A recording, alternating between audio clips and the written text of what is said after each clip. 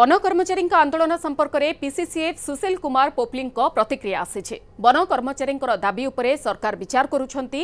କିଛି ଦାବି ପୂରଣ କରାଯାଇଛି ଆଉ କିଛି ନେଇ ଆଲୋଚନା ହେଉଛି।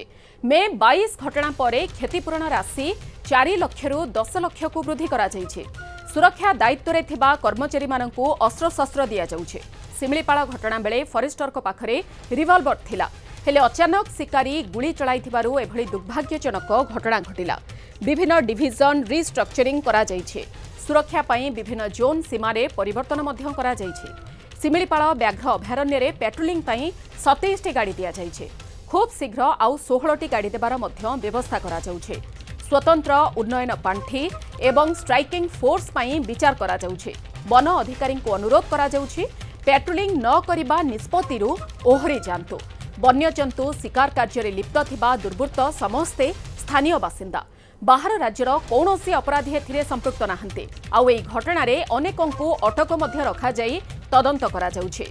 ଅପରାଧୀଙ୍କ ବିରୋଧରେ ଦୃଢ଼ କାର୍ଯ୍ୟାନୁଷ୍ଠାନ ପାଇଁ ପୋଲିସ ଡିଜିଙ୍କ ସହ ଆଲୋଚନା ହୋଇଛି।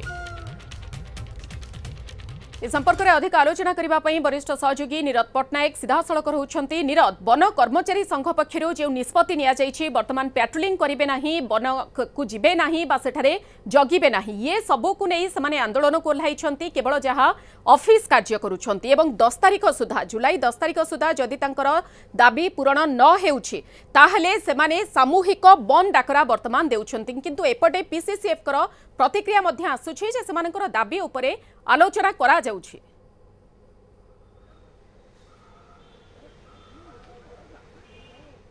ଦେଖନ୍ତୁ ପାଞ୍ଚଟି ଦାବି ଉପରେ ସେମାନେ ରଖିଛନ୍ତି ମତ। ଯେଉଁ ବନ କର୍ମଚାରୀମାନଙ୍କର ପାଞ୍ଚଟି ଦାବି ରହିଛି ସେଥିରେ ତାଙ୍କର ମୁଖ୍ୟ ଦାବି ହେଉଛି ଯେଉଁ ବନ କର୍ମଚାରୀମାନେ ଅଭୟାରଣ୍ୟ ଭିତରେ ଡ୍ୟୁଟି କରୁଛନ୍ତି ତାଙ୍କୁ ଆର୍ମସ୍ ଦିଆଯାଉ।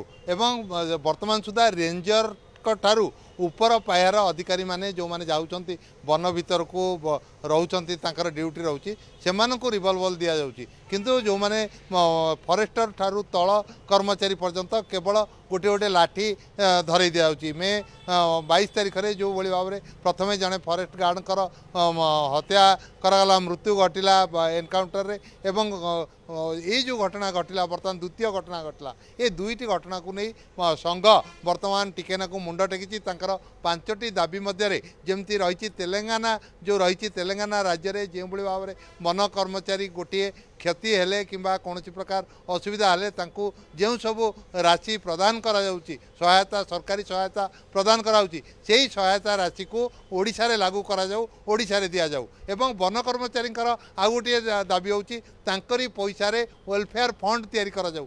ଯଦି କୌଣସି ସମୟରେ କେହି ଅସୁବିଧାରେ ପଡ଼ନ୍ତି ବନ କର୍ମଚାରୀମାନେ ତାହେଲେ ସେହି ସହାୟତା ରାଶିରୁ ତାଙ୍କୁ କିଛି ଅର୍ଥ ପ୍ରଦାନ କରାଯିବ। ସିଏ ତାଙ୍କ ପଇସାକୁ ୱେଲଫେୟାର ଫଣ୍ଡ କରିବା ପାଇଁ ସରକାରୀ ସ୍ତରରେ ଚାହୁଁଛନ୍ତି। ତୃତୀୟ ଜିନିଷ ହେଉଛି ଯେ ସମସ୍ତଙ୍କୁ ୱେଲ୍ ଟ୍ରେଣ୍ଡ କରାଯାଉ ଏବଂ ଯେଉଁ ଅଛି ଆର୍ମସ୍ ଦିଆଯାଉ। ଏବଂ ଟ୍ରାଇକିଂ ଫୋର୍ସ ଯେଉଁ ରହିଛି ଟ୍ରାଇକିଂ ଫୋର୍ସର ସଂଖ୍ୟା ବଢ଼ାଯାଉ ଏବଂ ସେମାନଙ୍କୁ ଉନ୍ନତ ମାନର ପ୍ରଶିକ୍ଷଣ ଦିଆଯାଉ। ଏବଂ ଏସବୁ ଯେଉଁ ଦାବି ରହିଛି ଦାବି ଉପରେ ଯେଉଁ ସହାୟତା ରାଶି ରହିଛି ସହାୟତା ରାଶିକି ବୃଦ୍ଧି କରାଯାଉ। ସରକାରୀ ସ୍ତରରେ କୁହାଯାଇଛି ଯେ ପି ସି ସି ଏଫ୍ ଯିଏ ରହିଛନ୍ତି ବନ୍ୟ ସଂରକ୍ଷଣ ଯେଉଁ ପ୍ରାଣୀର ସେ ଯାହା ଆଜି ଆମକୁ ସୂଚନା ଦେଇଛନ୍ତି। ଏ ଯେଉଁ ସବୁ ଦିଗ ପ୍ରତି ସରକାର ଗୁରୁତ୍ୱର ସହ ନେଇଛନ୍ତି। ସତେଇଶଟି ଗାଡ଼ି ଥିଲା ଅଭୟାରଣ୍ୟରେ।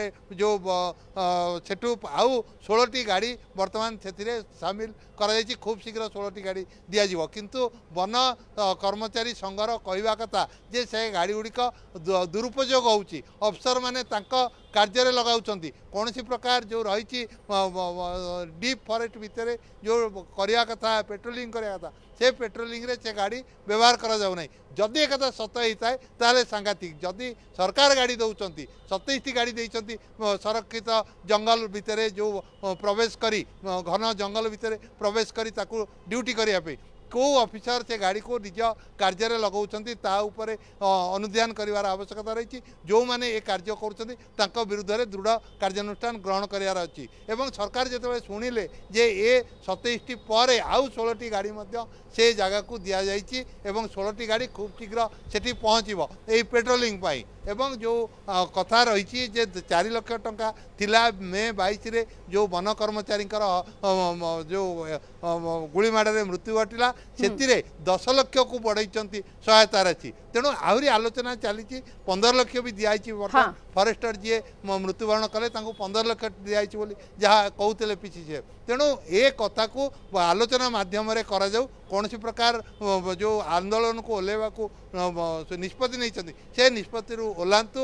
ଆଜି ନିହାତି ମଧ୍ୟ ଭାବରେ। କନିରକ ପିସିସିଏଫ୍ ଆଲୋଚନା ଜାରି ରଖିଛନ୍ତି ଏବଂ ପରବର୍ତ୍ତୀ ସମୟରେ ଏକଥା ମଧ୍ୟ କୁହାଯାଉଛି। ଯେତେବେଳେ ବନ କର୍ମଚାରୀ ସାମୂହିକ ବନ୍ଦର ନିଷ୍ପତ୍ତି ନେଉଛନ୍ତି ପାଟ୍ରୋଲିଂ କରାଯାଉ ନାହିଁ ସେପଟେ ଶିମିଳିପାଳରେ ମଧ୍ୟ ଗୋଟେ ପ୍ରକାର ଶିକାରୀଙ୍କର ତତ୍ତ୍ୱ- ସକ୍ରିୟତା ଆହୁରି ଦେଖିବାକୁ ମିଳିବ। ତେଣୁ ସେଥିରୁ ନିବୃତ୍ତ ରହନ୍ତୁ। ତାଙ୍କର ଜାବି- ଦାବି ଯାହା ରହିଛି ତା ଉପରେ ନିଶ୍ଚିତ ଭାବରେ ନଜର ରଖାଯାଉଛି। ବହୁତ ବହୁତ ଧନ୍ୟବାଦ। ନିରବ ପଟ୍ଟନାୟକ ରହିଥିଲା ଆମ ପ୍ରତିନିଧି ଯେ ଖବରକୁ ନେଇ ଅଧିକ ଆଲୋଚନା କରୁଥିଲେ।